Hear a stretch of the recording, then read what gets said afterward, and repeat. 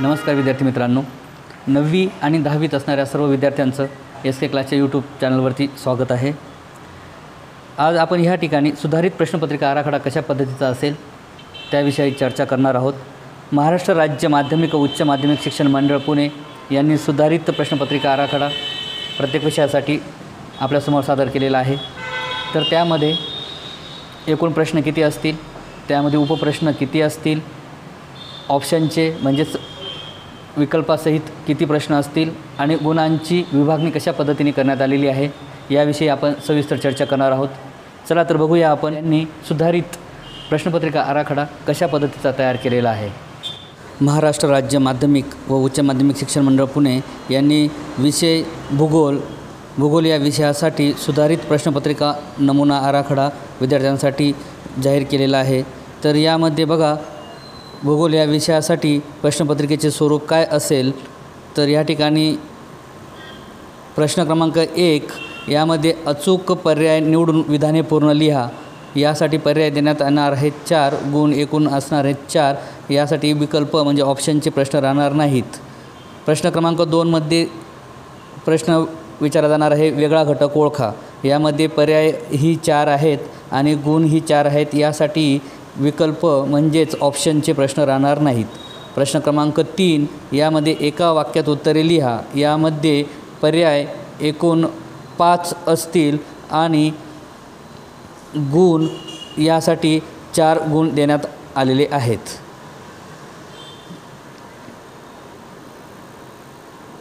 त्यानंतर प्रश्न क्रमांक चार अ नकाशा आराखड्यात माहिती भरा व सूची तयार करा.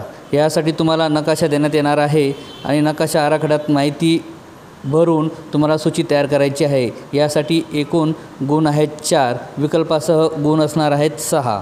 प्रश्न क्रमांक चौथा आ यामध्ये नकाशा वाचन करून प्रश्नांची उत्तरे लिहा. यासाठी तुम्हाला नकाशा वाचन करून प्रश्नांची उत्तरे लिहायची आहेत. यासाठी गुण आहेत चार आणि पर्याय विकल्प असणार आहेत. त्यासाठी एकूण पाच.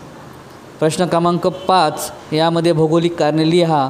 यासाठी गुण असणार आहेत सहा. त्यानंतर प्रश्न क्रमांक सहा अ आलेख आकृती काढा व त्याखालील प्रश्नांची उत्तरे द्या किंवा त्यालाच ऑर क्वेश्चन आहे. आलेख आकृती वाचन करा व त्याखालील प्रश्नांची उत्तरे लिहा. यासाठी गुण आहेत सहा. विकल्पासह गुण आहेत बारा. त्यानंतर प्रश्न सातवा हा आठ गुणांचा असेल यामध्ये सविस्तर उत्तरे लिहा. हा एक ब्रॉड क्वेश्चन असणार आहे. विकल्पासह तो असणार आहे बारा गुणांसाठी. एकूण चाळीस गुणांचा हा पेपर आहे यासाठी दोन तास आहेत विकल्पासह त्याचे गुण होतात साठ. यामध्ये घटकनिहाय गुण विभागणी कशी दिली बघा. घटक क्षेत्रभेट यासाठी चार गुण स्थान विस्तार यासाठी चार गुण प्राकृतिक रचना व जलप्रणाली यासाठी चार गुण हवामान यासाठी चार गुण नैसर्गिक वनस्पती व प्राणी यासाठी पाच गुण लोकसंख्या पाच गुण मानवी वस्ती पाच गुण अर्थव्यवस्था आणि व्यवसाय यासाठी चार गुण पर्यटन वाहतूक आणि संदेशवहन यासाठी पाच गुण. असे एकूण चाळीस गुणांचा हा पेपर असेल. घटकनिहाय त्यांनी गुण विभागणी आपल्याला करून दिलेली आहे. विकल्पासह हा पेपर असेल साठ गुणांचा. त्यानंतर पुढे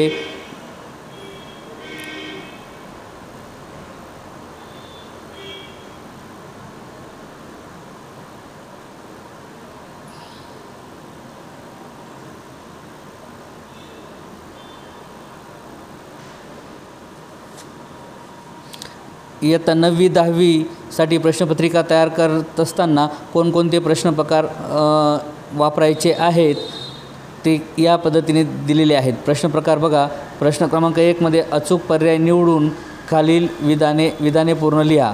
अचूक सहसंबंध ओळखा व साखळी बनवा. अचूक गट ओळखा. अशा पद्धतीने चार गुणांसाठी असा प्रश्न प्रकार असणार आहे. प्रश्न क्रमांक दोनमध्ये योग्य जोड्या जुळवा वेगळा घटक ओळखा विधानांचा योग्य क्रम लावा साखळी पूर्ण करा चुकीची जोडी ओळखा. यापैकी चार गुणसाठी हा प्रश्न क्रमांक दोन असेल असा प्रश्न क्रमांक दोनमध्ये प्रश्न प्रकार असणार आहे.